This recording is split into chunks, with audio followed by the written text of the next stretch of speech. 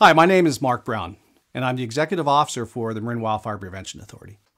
Today, we'd like to talk about fire behavior in non treated areas versus fire behavior in treated areas. So let's draw an untreated area. In this untreated area, you're going to see there's a lot of trees. Some are healthy, some are unhealthy, or maybe even dead.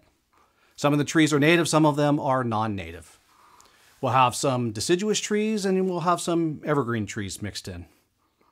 But what you're going to notice is that the lower limbs of these trees are nearly touching the ground, or sometimes they're actually touching the ground. Then you'll notice that we have a lot of brush that is underneath these trees. Some of the brush is native, but most of the brush is non-native. And it creates this continuous continuity of fuel along the ground. But it also creates continuity vertically, and you see the brush is actually touching the limbs of these trees. Underneath the brush, now we have dead and down material of various sizes. It could be the leaves from the trees, needles, limbs that have fallen, or it might even be dead trees that have fallen. We have a lot of those in Marin right now due to sudden oak death. And to the right of this forest, in most of Marin, we have houses. And we really do need to consider houses as a wildfire fuel. So let's talk about wind. And in wildfire behavior, we look at the wind as 20 feet above the fuel. In this case, it's 20 feet above the canopy of these trees. For the sake of this discussion, let's say that this wind is 20 miles an hour at 20 feet above the canopy.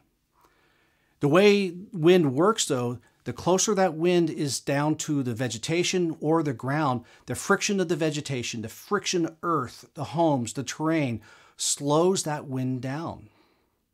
So we really, as wildland firefighters, think about what we call eye level wind. That is the wind that really is driving ground fire. And since there's friction from the trees, there's friction from the earth, it's going to slow down.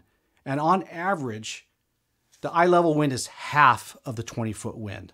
So it's going to be in this situation 10 miles an hour. Now, the thing to remember about these winds is that it's the 20 foot winds that really transport the heavy embers long distances. For the most part, long distance embers are not igniting homes. The new emerging spot fires near homes ignited by long distance embers create the embers that ignite homes. There are a few exceptions. Perhaps there's a home with combustible roof or there's a lot of de- debris on the roof. Those embers can land on that and actually destroy the home. Now it's time to introduce a little bit of fire. And we're going to put it um, down on the forest floor. We have the wind blowing through our forest. But you notice the fire starts on the ground fuels to dead and down because that is what drives fire is the dead and down material on the forest floor.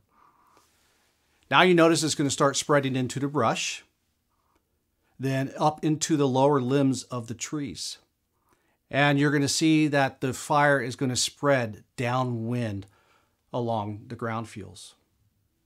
Eventually, enough energy we've created that you're going to get what we call torching. So one tree is going to ignite and burn.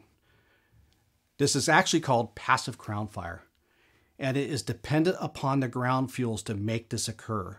If you don't have the heavy fuel loading on the ground, this isn't going to happen. When that individual torching occurs, you're going to see embers get launched into the 20 foot wind, and that's what's spreading those embers downwind. Now, as the energy starts expanding, increasing, we're going to see more and more fire get into the canopy, create that much more energy, creating larger and heavier embers. We get so much energy in what we call a crown fire. And this is where you have all of the canopies burning, and you're also going to have all the ground fuels burning. You create so much energy that you create a very strong convective column that is lifting heavy embers high into the air. But also, due to the convection and the air rising, we now create an indraft that is coming into the fire. That indraft actually increases that eye level wind because it needs so much oxygen for this fire to burn. And this is an example at a small scale of a fire creating its own weather. It's creating these updrafts and creating an indraft that actually increases the wind at eye level. And now you see embers flowing high into the 20 foot wind, going downwind. But we're also seeing more embers at the ground level, moving downwind towards our homes. And we also have vegetation being removed because of the fire on the windward side of the fire. And so now you actually have less resistance, less friction of the fuel. So the wind that's coming into the fire is even stronger. All right, now let's give ourselves a fresh palette so we can draw a treated area. And you'll see that we have large mature trees, but you'll see that we still maintain a continuous canopy. However, we will have fewer trees, mostly due to removing the unhealthy trees or the non-native trees. And what you also notice is that you don't see limbs touching the ground or touching vegetation below it because we have limbed up those lower limbs, removed them to create vertical separation. You'll still see some brush in here. It's widely separated, not touching each other, not touching the canopy, and we're going to maintain native brush. We're going to remove the non-native brush. You'll also notice that there is very little dead and down. We're not going to remove all of the dead and down, but you see a lot of it has been removed. And it's important to, to consider why we keep that continuous canopy. That continuous canopy helps keep the moisture in the ground, which helps forest health, but it also keeps the fuels on the ground more moist so that when embers land there, they're less likely to ignite new spot fires. Now, like uh, the previous forest, we'll add homes right up against our forest because that's what we mostly have in Marin. We'll draw on our wind just as before. We have our 20 foot wind, and then we will have our 10 foot eye level wind. Due to some of the removal of the vegetation at the ground level, the eye level wind may be a little bit higher than the untreated areas, but if there's no fire, there's no real concern. Now we're going to introduce some fire. We'll put it over on the lower left. And as you see, the fire stays low intensity because there's not as many ground fuels. There's not a lot of brush to burn, and the brush is separated so you don't have the fire spreading from one brush plant to the next. You also don't have the fire climbing from the brush into the trees.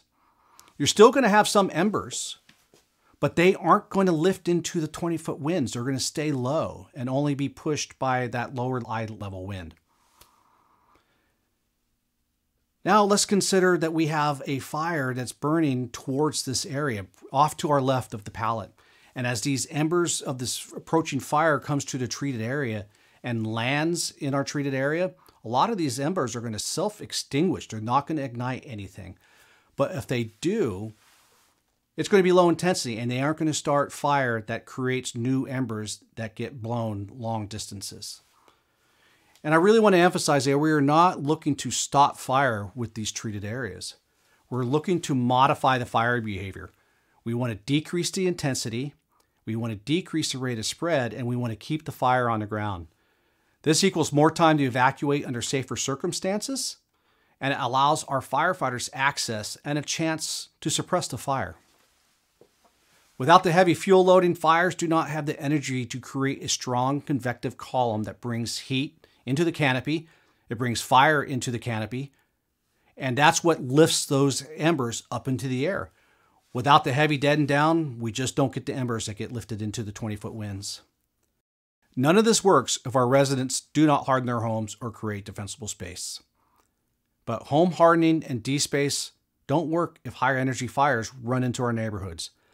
That's why we have been treating our forests to keep the fire intensity low. And then our residents have been doing a great job of making sure that their homes won't be ignited by fires.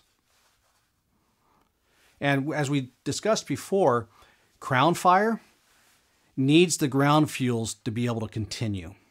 So if we have crown fire that is continuing from the left of this picture, approaching our treated area, we're going to see the crown fire drop out of the crowns of the trees, get down onto the ground, and we will have a low intensity ground fire.